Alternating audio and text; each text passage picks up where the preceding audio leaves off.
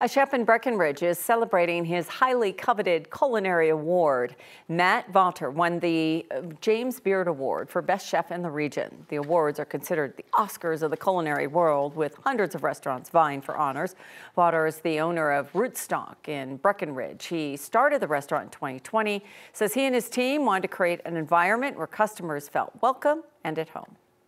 I think what makes it so special is you can't ask for a better place being in Breckenridge and the beauty that, that's around you and um, the people that that's really what makes it special the people with inside the, the restaurant Vawter isn't the only Coloradan to win a James Beard Award. Erika and Kelly Whitaker received the award for Outstanding Restaurateur. They run a restaurant group that runs several restaurants, including Bruto and the Wolf's Tailor in Denver.